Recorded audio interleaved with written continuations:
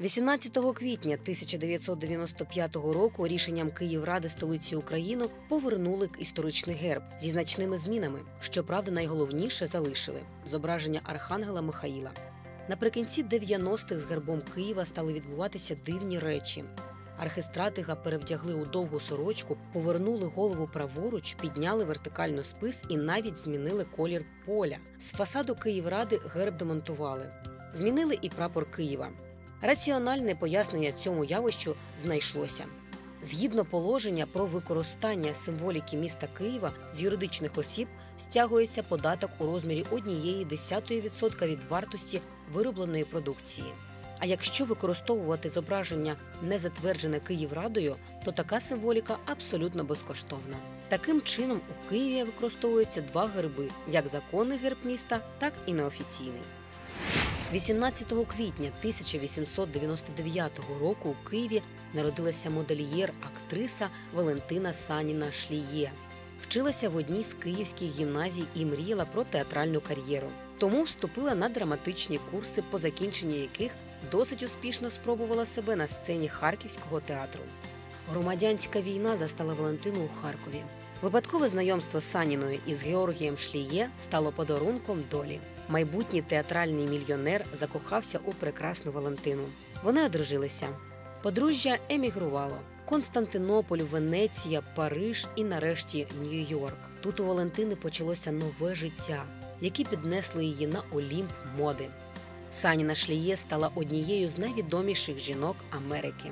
У 30-ті дебютувала як художник по костюмах і одразу здобула популярність. Її будинок моди Валентина проіснував понад 30 років і став класикою американського дизайну. Саніна Шліє створювала вбрання для Грети Гарбо, Марлін Дітріх, Кетрін Хеберен та багатьох інших зірок. На батьківщині сім'я Саніної Шліє не одне десятиріччя було щільно вкрите пилом історії і навіть не згадувалося. А от в Америці їй і до сьогодні вдячні за вагомий внесок в індустрію моди.